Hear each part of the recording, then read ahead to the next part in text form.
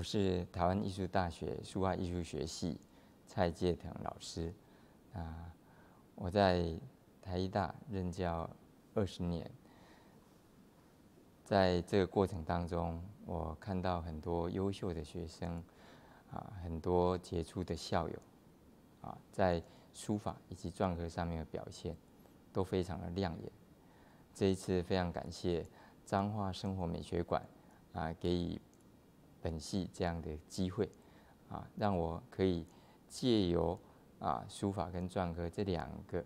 啊类型的创作，来啊以学生啊为啊主要的对象来策划这个展览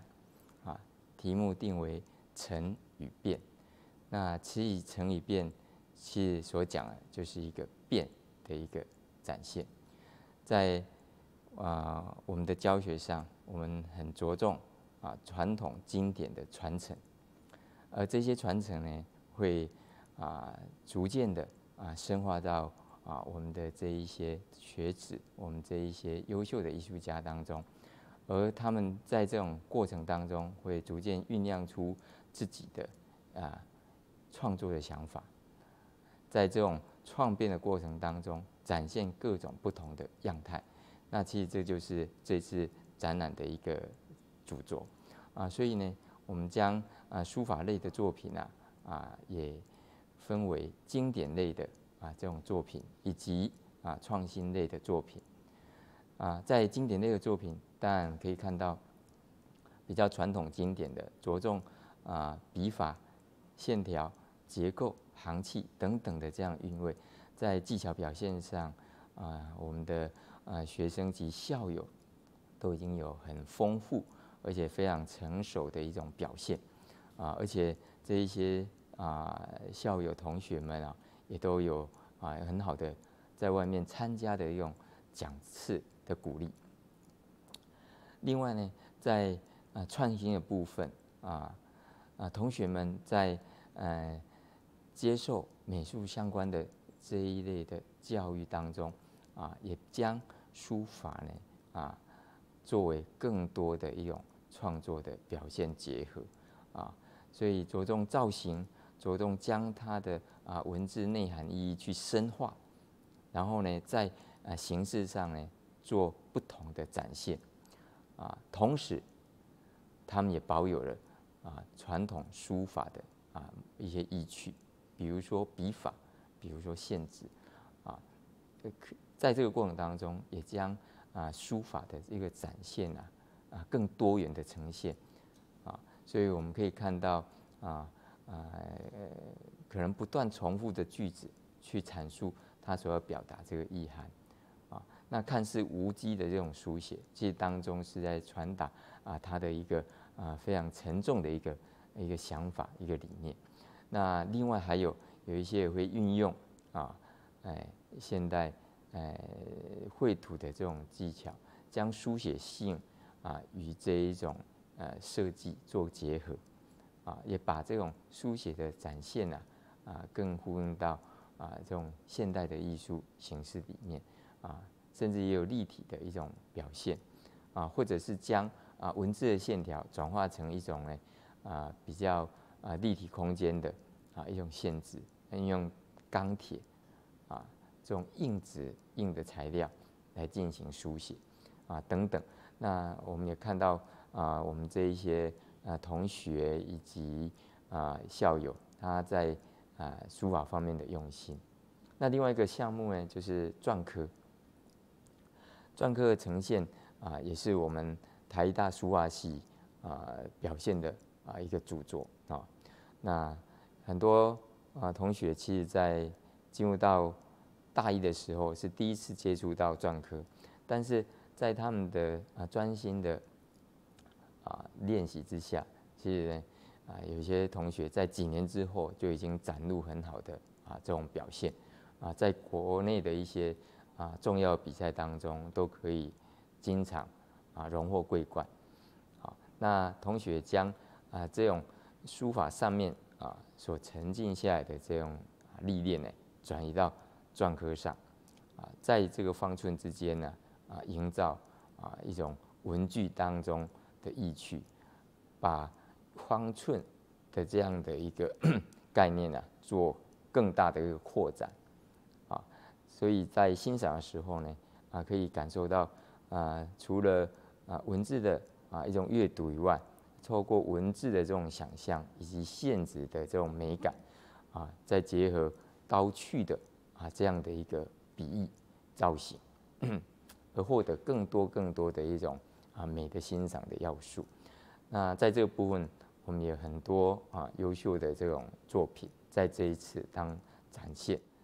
另外一个啊主题就是大观风华的命名啊，其实是啊我们台大的一个特色啊。我们台大的地址啊啊在板桥大观路一段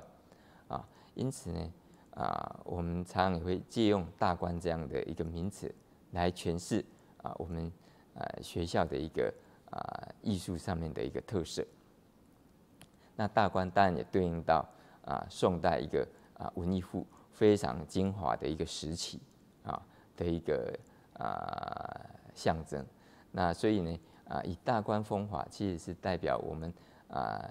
台大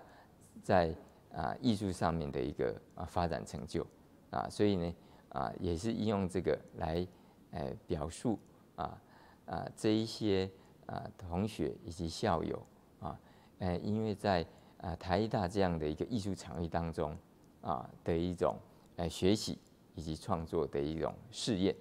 啊，而有很好的一个艺术的表现啊，也希望将这一份啊好的成果啊以及多元的展现啊，能够呈现在啊各位啊欣赏艺术的朋友的面前，让大家可以在。参观展览以及看到啊相关的资讯的时候，可以有更多啊对于书画在书法以及篆刻上面的美感的一种欣赏。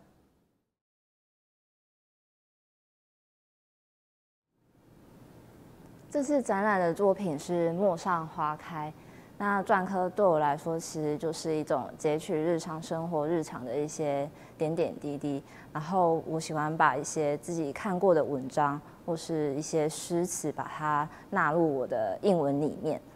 那这件会取为叫《陌上花开》，呃，其实就是引用古诗。那他这首诗有写到“陌上花开，可缓缓归矣”，其实就是在呃说，在写说君王对。妻子的一个思念，他希望妻子在呃回归的路途上，希望他可以慢慢欣赏路边的风景，然后就是路边的野花，然后慢慢的欣赏，然后沿路的归来。那我就是引用这样的一个情境，然后再嗯把这样的意涵把它放入我的一个装裱形式上，然后就是用三三个连三个条幅。然后中间其实有自己琴印的一个呃笑形的花纹，把它连续盖印，把它形成呃两个呃装饰性的一个呃条纹，呃很像路边的野花，形成两条道路的一个意象。那这一幅的印风其实非常的呃多元，我有运用了一些呃汉白文，还有古玺，还有一些圆珠纹。那其实。有对传统的一个印风的一个展现，那其实也里面也有包含一些自己呃比较创新的一些呃的印风。那我很喜欢把呃文字的一个线值做一个很婉转的一个变化，那它其实就是一个自我一个的一个情感表现。那就是这幅印风其实就有一个传统与现代的一个对话。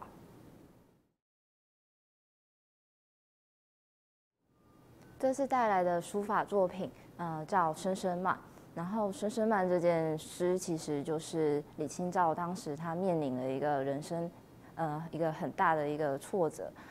呃，他在情感上还有家庭上所遇到一个很，嗯，很悲怆的一个时期。那他这首诗其实就用很很大的一个很悲痛的心情所书写下来的。那所以我就是对此有所感召，所以借有一个。呃，草书的一个笔意来延续这样的一个情感。那这草书的用笔其实借用了呃黄庭坚的一个草书的一个叠宕波折叠宕的一个笔法。那这一个笔法呃的特别主要是呃比较纤细的一个笔意的展现，其实就是想要呈现一种女性的一个柔情的的美感，然后又有一个情绪连绵不断的的哀愁的一个氛围。那这首诗其实前面它有许多的叠字，像是开头它写到了凄凄惨惨戚戚，其实。在书写的方式上，其实就运用了点的一个呃方式来来缩减呃文字的书写上，呃，所以这件作品主要的特色主要就是运用一个点与线的一个呃空间的安排来做一个整体的一个规划。这件书法的空间安排上，主要是在呃整首诗前面留了很呃刻意。留了一个很大的一个空白处，主要是想要营造这首诗那种很静谧悠悠然的一种氛围。那在这个空白处，我又提提上呃“何以解忧也”这样的一个反诘的一个问句，其实就是对这首诗的一个一个对话。那对于这种这个问句，我又盖上了一方孟婆汤这样的一方印，来作为一个回答。那其实就是想要表现、表示说，其实，在嗯，我们人生虽然会遇到许多的痛苦，但如果我们用一个很豁达的一个心情去面对，这样其实也是呃一个不错的一个面对面对痛苦的一个方式。那在这个书法当中，其实呃盖印它其实也是我的呃创作的一部分。其实透过盖印里面的一个印文来来对话呃。书写上的文字所表达的一个意涵，其实我的创作灵感都是取自于生活。那这样的方式其实可以让我更关注在，呃，更放大我的生活日常，去发掘一些比较细小或是细小，然后又一些很美好的一些事情。所以，嗯，例如说可以呃多看看路路边的一些风景啊，就是会慢慢的停下脚步来。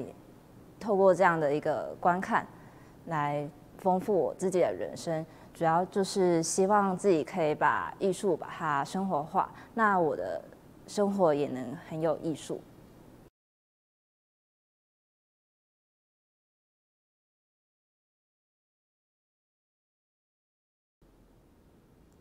大家好，我是蔡明灿，那我现在就读国立台湾艺术大学书画艺术学系的硕士班。那其实我从国小三年级就开始写书法了。那到了现在呢，对于书法创作也一直保有非常强烈的热情跟兴趣。那我想，书法创作之所以吸引我的原因，它是由于它的那种立即性跟当下性，我觉得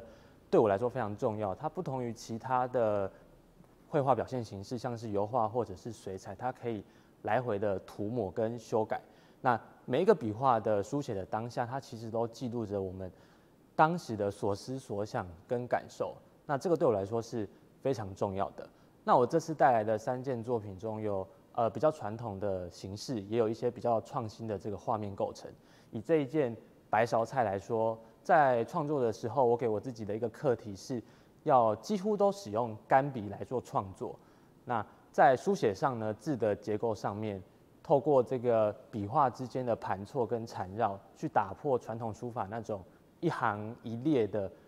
视觉经验，然后之所以我使用方形、斗方的形式来做创作的原因，是因为我觉得我们书写所产生的这个行气啊，在方形的这个架构里面，它能够在四边这种源源不绝的一直环绕跑下去，产生一个啊源源不绝的这个律动感。那另外一件作品叫做《霹雳神风》，那霹雳在书写上。霹雳呢两个字以共用雨字旁来做一个合文，互相盘错的这个表现方式。那去如何去表现这个神风的意象呢？因为我这件作品是书写在洒金轩上面的，那我就在其中的一些呃洒金的这个经典上面呢去做加工，然后把它绘制成像是风吹过这个旗子，它会产生的这种摆动的这种律动之感。那在落款用意方面呢，我也是。重复去盖了一个同样的一个一个印章，想要去表现，就像是大自然中风吹过树叶，那它会产生的那种重复性的叶子在飘动的感觉，跟视觉上面的这个残影。那总之就是说，呃，我觉得书法创作不管是要 表现的是要很传统经典的形式，又或者是现在大家所说的这种现代书法，我想最重要的就是我们要不断的去向古人学习，去临帖。入古才能够出新。那在未来呢，我也会不断的鞭策我自己，就是希望能够把历史上所有的这些重要的书家的帖子啦，或者是一些碑刻等等，我都能够去把它写过，然后才能够去融合我自己的所思所想，创作出属于我自己风格的作品。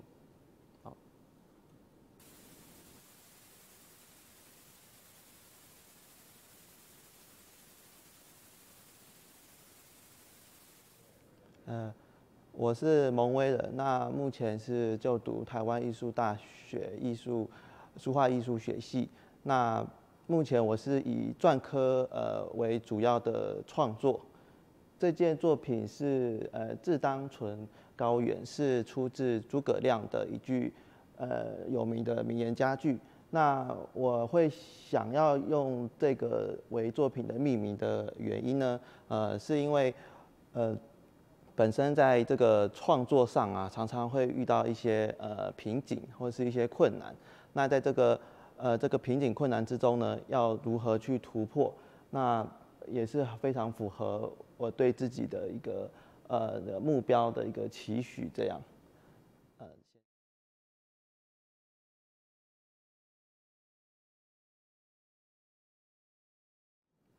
呃，对我而言呢？的诗书画印呢，算是一个，我觉得是一个相辅相成、相辅相成的一个存在。那那所以在我的作品当中可以看到说，呃，在于边款上呢，或是在于印面上呢，会有一些呃图案啊，中国的山水，或者是一些嗯边款上可以看到一些的书法的一个表现。那也有不一样的书体去做一个变化安排。对于未来的话呢，我是希望我自己可以，呃，这种传统路线的话，可以再更于精进。那创新的部分呢，是希望说可以再去做一个，呃，不断的尝试啊，击鼓初心去做一个呃变化，呃，以及以及融合说呃现代生活的一个语录，融入在我的篆刻当中，这样。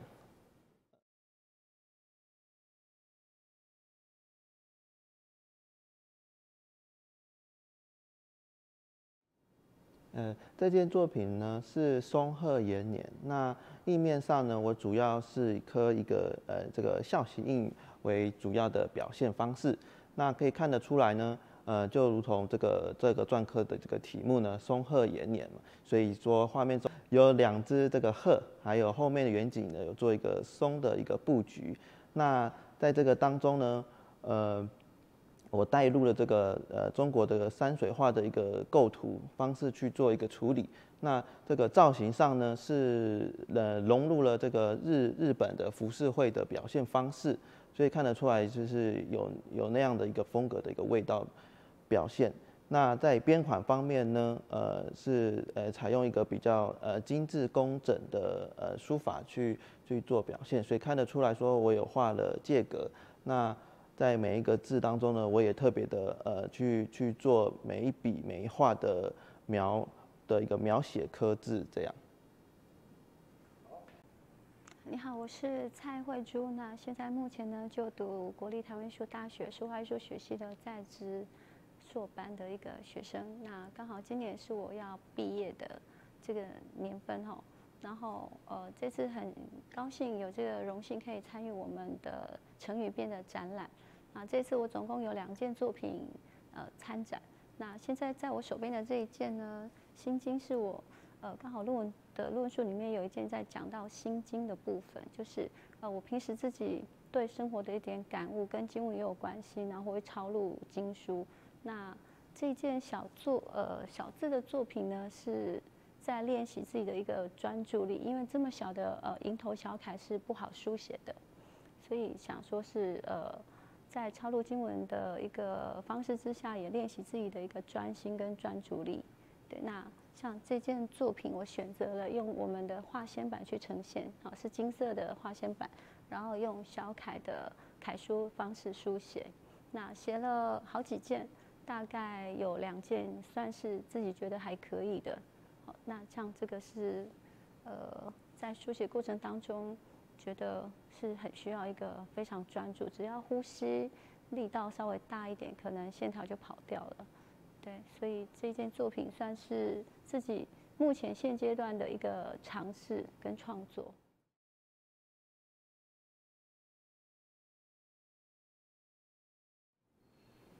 你好啊，这次很荣幸可以参加陈宇编的展览。我左手边的这一件是其中的第一件，那两件作品都是关于疫情的一个呃表现哈，因为。就是有感受到这场疫情为大家带来生活上的很多的一个不便利，所以我的创作灵感都来自于我生活当中的一点感悟。那这件作品呢，呃，我是因为采那种我们春联的形式的一个门帘，好，可以很明显的看到这件作品是用门神的一个意念的观念性在创作。那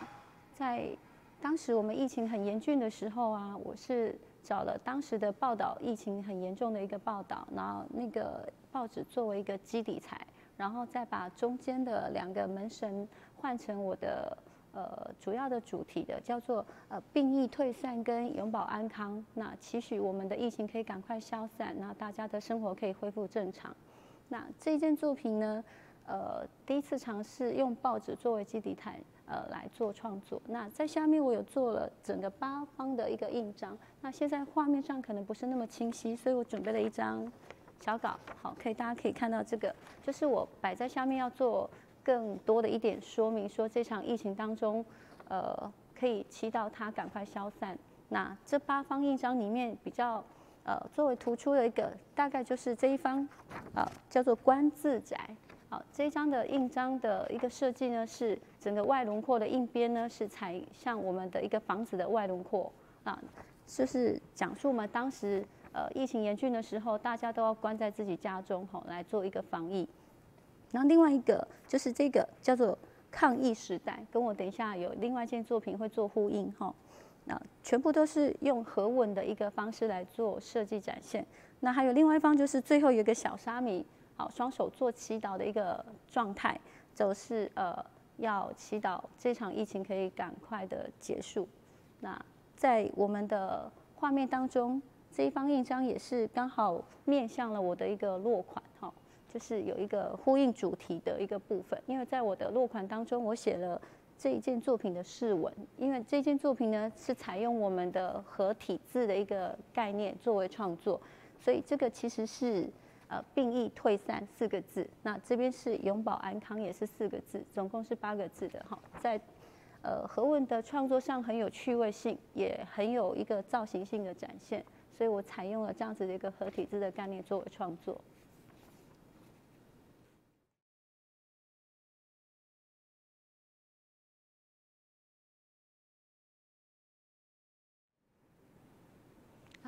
这件作品是我另外一件作品哦，同样跟刚刚前一件一样，都是讲我们的新冠肺炎疫情的一件作品。那我觉得我们的艺术是很生活化的，尤其是书法艺术哦，它是一个很抒情的一个展现。那当时也是因为感受到这场疫情给呃对大家带来非常大的一个影响，因为在台湾当时的呃相较于全球的各国的防疫成果上面，我们台湾算是突出的哦。但是因为呃，后来我们就因为呃疫情刚好严峻了之后，我又感受到说，哎，我们过去一年多以来都过着这么平静无波的一个生活，产生了一个很大的变化。所以，于是我又在兴起了想要做一个创作。那这件作品其实也是跟刚刚那件一样，是采用合体字文化的一个方式来展现。那其实大家。乍看之下觉得它是两个字，但其实是四个字。我刚刚有讲到，它是用合体字的一个概念。那上面呢，这边写的是抗议，好，那下面这个呢是时跟代，好，就是时代两个字的一个融合，所以加起来根本就是四个字，好，是抗议时代的一个一个呈现。那这件作品呢，在书写的过程当中，我一直在思考要怎么去凸显出我们。呃这场疫情带给我们这么大的一个一个改变。那呃，同样刚刚讲到的，我们的合体字的一个造型性是很大的，又有装饰性的一个效果，所以呃选择了用合体字来做展现。那在书写的过程当中，我又感受到说，嗯。我们现在因为受到疫情的影响，我们真的是像处在一个抗疫的一个时代当中。那为了呈现出抗疫时代这样的一个这么大的一个气魄感，所以呃，我选用的比较大张的，像这张是三乘六尺的一个纸幅的大小作为创作。那可以看到我在四周围写上了落款，为什么没有像我们传统一样都写在周边的呃左侧或者是右侧？是因为我们就处在这样的一个抗疫时代当中，所以我选择把我们的落款款文呢书写环绕在我们的四周，就象征我们被这场疫情紧紧的包围住，有点喘不过气的一种感觉。那在这个落款的部分，我选择用行书呃来做呈现，行书的线条可以较为活泼，变化性比较大，然后跟中间的款文又一个很大跟小的一个做的。对比性的一个呈现，那中间可以看到喷洒了很多的点。一开始是我拿很大笔在做创作的过程当中，一下笔就溅出了很多的笔墨。那在当下我的感觉就觉得它很像在飘散我们空气当中无所不在的一个病毒，所以后来自己就觉得，嗯，这个感觉蛮契合这个主题的，所以自己又再多喷洒了一些点来呈现这件作品的贴合这个主题的文艺。书法跟我的一个关系的因缘是蛮深的，从小自己就很喜爱这种书写的一个感觉。那因为刚好自己的父亲也是很爱好书写书法，所以从小算是有点耳濡目染的这样子，呃，为自己将来做从事书法艺术创作埋下了一个艺术的小种子。那我对自己未来的一个期许呢，是希望自己在击鼓创新上面。可以吸取前人的一个经验，然后也可以走出我们当代的一个呃时代感的。我一直觉得艺术创作者就像一个时代的代言人，他从我们生活当中来取材，那是跟禅法当中的一个当下即时的感觉是很相像的。所以呃，我目前现阶段的一个创作理念，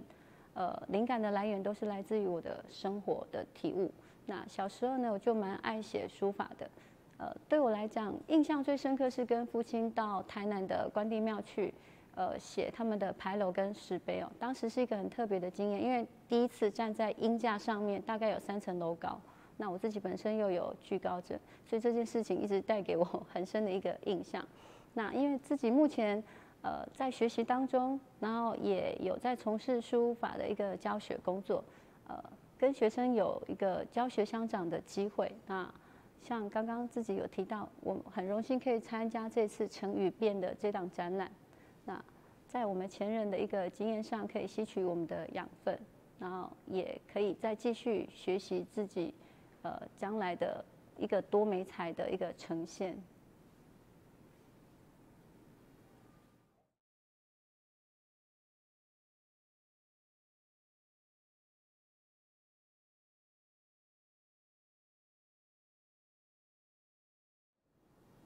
大家好，我是潘成言，目前正在台医大的书画系攻读硕士。那我的创作理念呢，其实创作无外乎就是从生活而来的。那我从小其实就是一个非常好动的小朋友，然后就被家长骗去学书法，然后那时候就其实觉得说，呃，学书法是一件。跟朋友在一起一起做事情的状态而已，它对我来说并不是一门艺术。但后来渐渐习惯之后，发现它其中会有很多有趣的东西，例如说，呃，笔墨上的变化，那些提按、墨韵的效果等等，对我来说那些东西是有趣的。那我就因此就是被这件事情所着迷。那在创作的过程中，其实就是。不停的跟自己的笔墨去做对话，斤斤计较每一个细节，然后去看那些墨障、墨韵、飞白，笔画跟笔画之间的关系去做对话。这次参展的作品叫做《沉醉东风，维扬怀古》，那这件作品它诗句的内容，其实就是在讲说，现在跟以前已经是一个物是人非的状态。曾经是如此繁华的城市的地区，那现在已经是一个荒凉落魄的地方了。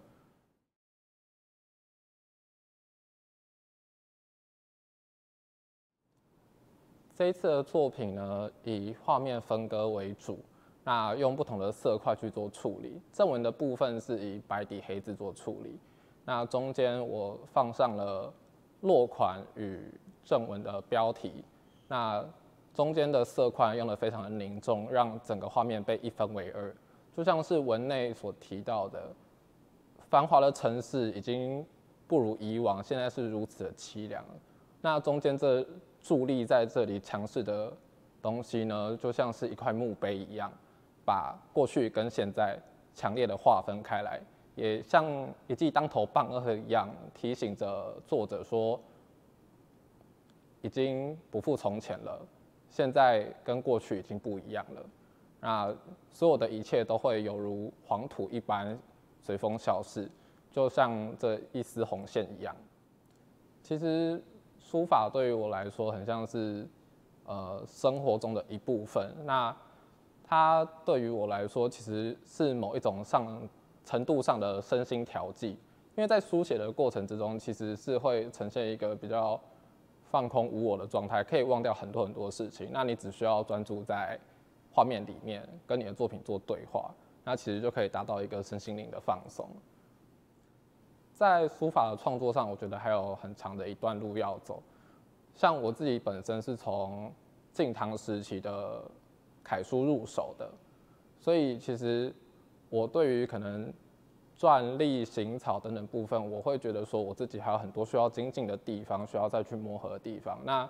这个东西是需要再做更深入的研究。那对于这些。呃，笔墨上的变化，或者是字体上的变化等等，其实对我来说都是很有趣，可以再去做钻研的。因为毕竟真的是，呃，要学的东西太多了。那在创作上，其实就是不断的在给自己更多有趣的东西。有趣对我来说其实蛮重要的，就是新奇有趣，它可以更促使我自己再去做更多的探索与精进。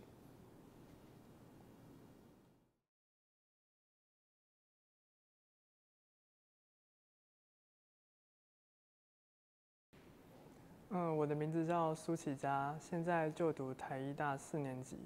然后现在创作主要范围是书传的创作以及录像装置录像为主。然后就我认为，书法的艺术若只有就是在文字上面的呈，就是在字的呃笔画或者是造型的呈现上面做琢磨的话，那这样书法作品就只有完成一半而已。实际上。自古以来的优秀的书法作品都是文字与他书写的内容去做结合，就是以前的书法的书写者都是以优秀的就是字字体的造型能力与他的文采文赋去做结合，才会呈现出一个优秀的书法作品。然后我觉得现在的创作都是以呃字为书法作品的重点，嗯，无名这个词在佛教的语言里面，其实是一直，呃，因为无法洞察而产生出无边的烦恼，而有病是因为没有病视感，所以才会让这个烦恼一直蔓延下去，而没办法得到解决，然后。这两个词句其实同样是在佛教算是一个非常核心的理念。然后，然后我在就是不断重复的书写的过程当中，就很像是就是在念佛的状态。但其实很有趣的是，念佛它只是诵念着文字的表层，就像是我重复的书写，也是在书写文字的表层。呃，某种程度像是在。就是反讽说，因为没没有经过思维，所以在表层上的诵念与书写都没办法达成对于文字本身的真正的理解。嗯，我希望我在未来的创作能够以书法作为养分，去做更多不同媒材与形式的创作，让书法不是只停留在把文字写得好看而已，而是它其实本身传内容上的传递也会更加重要。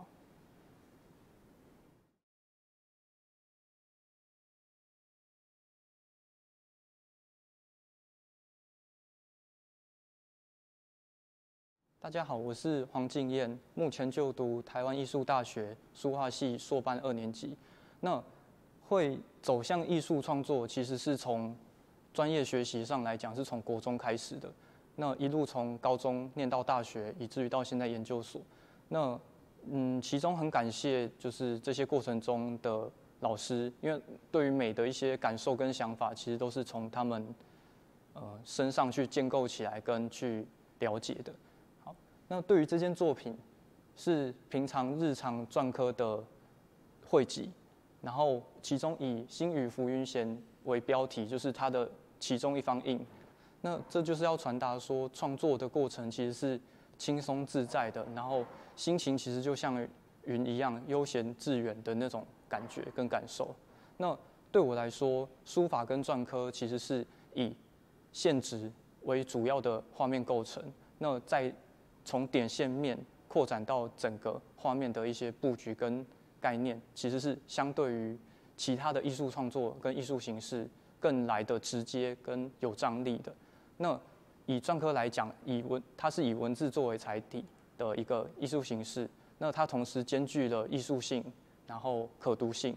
其中再来还有实用性的部分。所以对我来说，篆刻的创作是最贴近我们。生活周遭其实很多的运用，其实都跟篆刻有很直接的关系。那所以对我来说，这个呃创作的形式是最嗯最直接也最贴近生活的一个一个一个呈现的方式。对。那对于未来的规划，就是以目前硕班的研究，就主要围绕在文字作为一个讨论。因为对于书法及篆刻的研究跟创作来讲，它文字是占了很最主要的一个源头跟脉络，所以嗯，对我来说，要完整的了解文字的一些发展跟演变，然后对于创作来讲，才会是更直接也最最实际的一个呈现方式吧。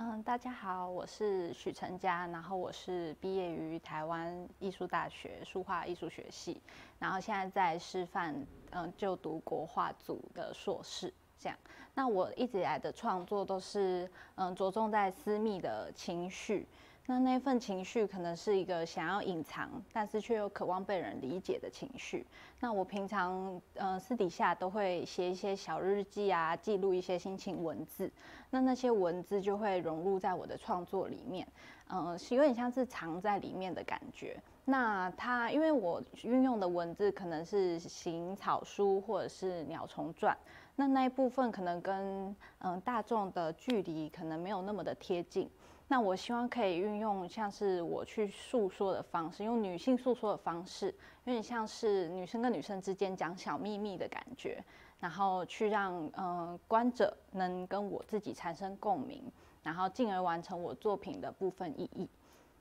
嗯。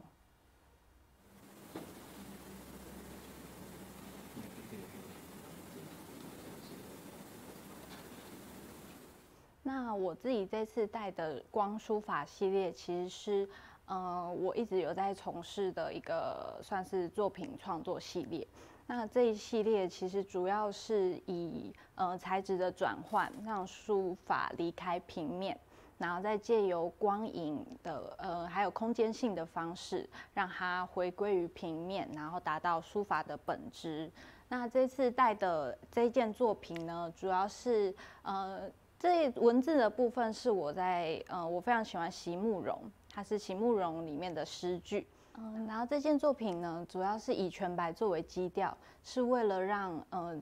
影子更为聚焦，更专注在影子上，然后也让文呃呃影子的呈现能够更清晰。那我会在纵轴上做比较大幅度的呃延伸，嗯，主要是希望它可以在呈现的影子上有不同呃程度的，有点像是影子的墨韵的感觉，然后也回归到主要东方的呃书法有展展现墨韵的部分。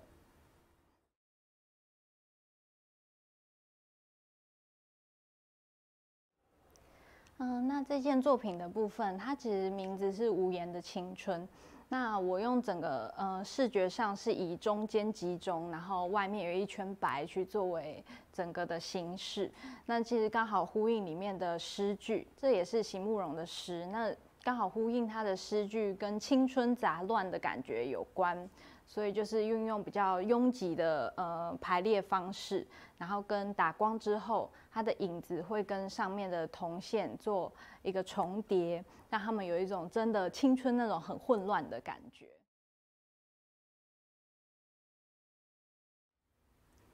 那对于未来期许是希望可以在嗯东方的书法文字或者是篆刻的变化上，能有更多元的一个呃发展跟面向。然后，呃，透过视，主要是希望能透过视觉渲染的方式，让呃我的作品与观者相互连接，然后思考着自己与呃他人的关系，或者是光影的关系、虚实的关系、现处的生活，然后到东方思维上的延伸。谢谢。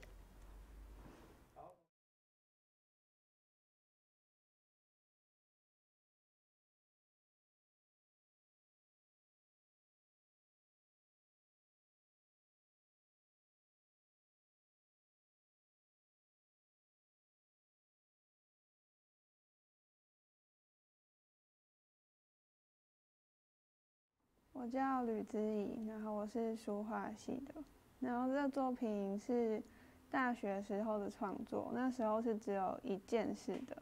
然后这一次想说以四件，然后有层次这样子。呃，会做这个作品是因为在跟侄子玩游戏的时候，发现用笔画在盘子上面，然后再加上水，它那个字会浮起来。所以就决定把书法字写在鱼缸里面，对，然后就会像是水，笔画会像水一样，就是流掉，从这样子形式一直跳到这边。这四个鱼缸里面写的都是关于水的形容，还有现代诗。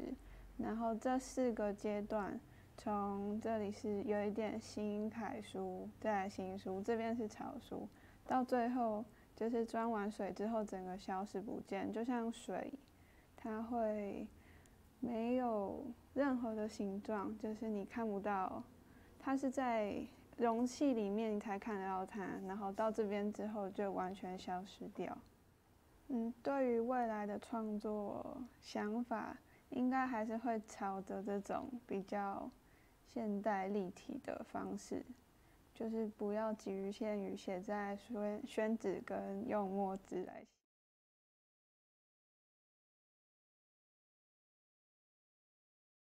好，对于书法及篆刻的一个当代性表现，啊，这或许可能会有一些质疑，因为书法跟篆刻其实是非常具有传统经典的一种艺术表现，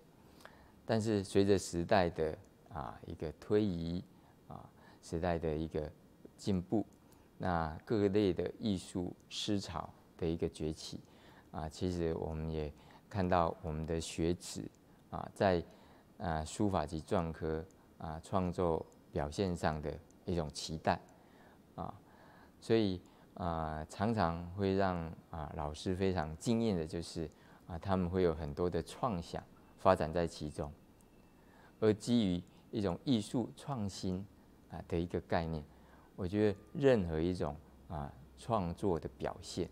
都是啊相当的啊可取，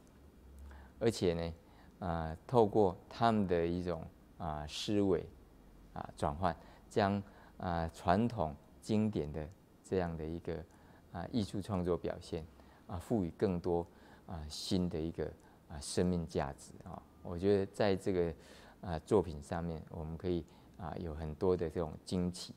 那因此呢，我觉得在啊欣赏这样的一个创作表现的时候，啊，我觉得更应该啊怀抱着一个啊，